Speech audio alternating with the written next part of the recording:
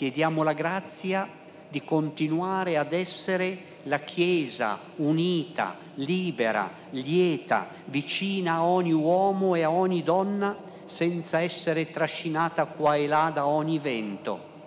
Vogliamo chiedere di essere quella Chiesa che è immersa nella vita di questo tempo senza omologarsi al tempo in cui viviamo vogliamo chiedere la grazia di essere un segno di benevolenza, della benevolenza di Dio per ogni uomo e per ogni generazione, senza mendicare approvazione e consensi. È con un auspicio e una speranza certa, fondati sulla devota memoria dei pastori del XX secolo e dell'inizio del XXI, scomparsi e sepolti in Duomo, che l'arcivescovo richiama al senso di un ricordare che non è solo un semplice rendere omaggio, peraltro doveroso, ma l'indicazione per un cammino futuro.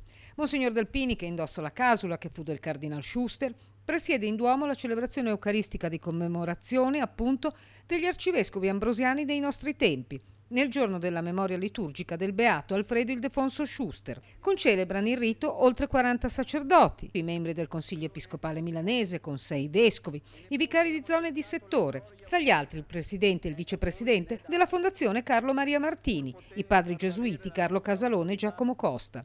Nelle prime file partecipano all'Eucaristia i familiari del Cardinal Martini, del Cardinal Tettamanzi, tanta gente. La memoria, le letture sono quelle proprie della messa del Beato Schuster, si avvia con le parole introduttive dell'arciprete della cattedrale, Monsignor Gian Antonio Borgonovo, che cita l'omelia di San Giovanni Paolo II, pronunciata in occasione della beatificazione schusteriana, davanti a migliaia di pellegrini milanesi giunti a Roma. La memoria di questi nostri arcivescovi sia benedizione, conclude l'arciprete. L'immagine del portare molto frutto se si dimora nel Signore, come si legge nella pagina del Vangelo di Giovanni al capitolo 15, appena proclamato tra le navate, è il filo rosso che annoda l'intera, intensa riflessione dell'arcivescovo. L'immaginazione spontanea orienta quest'idea del dare frutto a un'interpretazione quantitativa. È tentazione molto diffusa perché è coerente con la sensibilità contemporanea che tende a valutare tutto con criteri quantitativi, che si tratti dei bilanci aziendali o dell'economia di una nazione o dell'esito di una iniziativa o di un programma pastorale. Ecco, tutto si può o si è tentati di valutare con le domande ma quanta gente c'era? Ma erano di più o di meno dell'anno scorso? Ma quanto abbiamo guadagnato? Ma, avverte subito il vescovo Mario, sembra che questa valutazione quantitativa non sia del tutto coerente con lo stile di Gesù e il suo insegnamento, così come non lo è un successo qualitativo. E dunque il frutto si potrebbe vedere nell'attenzione alle parole degli uomini di Chiesa che il contesto riserva quando si pronunciano oppure forse si potrebbe considerare nell'influsso che eh, gli uomini di Chiesa esercitano nel loro ambiente, nel loro tempo.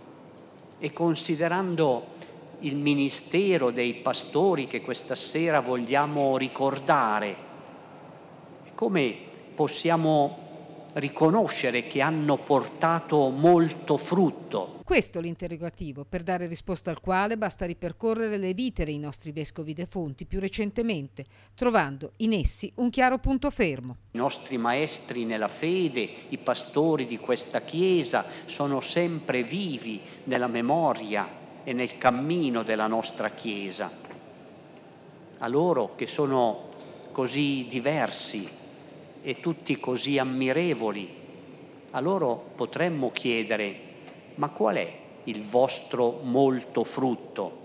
Qual è il frutto del vostro servizio che rimane? Pur così diversi, dicono una cosa sola. Mi sembra che così diversi tra di loro dicano però la stessa cosa. Abbiamo fatto molte cose molto diverse, in tempi diversi, con stili diversi, con esiti diversi secondo la cronaca mondana, ma in sostanza abbiamo contribuito a fare la Chiesa.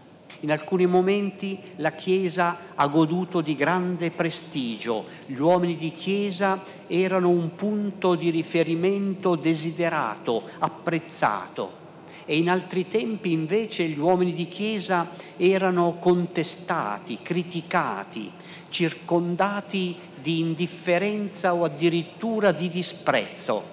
Ma la Chiesa ha continuato ad essere presenza amica, disponibile al servizio, fedele all'annuncio della parola evangelica. La Chiesa di Ambrogio e Carlo, la Chiesa di Schuster, di Montini, di Colombo, di Martini, di Tettamanzi, la Chiesa che è in Milano continui ad essere un segno del regno di Dio anche attraverso di noi.